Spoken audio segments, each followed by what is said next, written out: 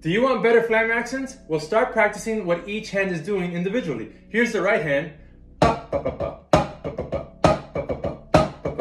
Left hand does this. Get each of those really strong, put them together, and you got good flam accents.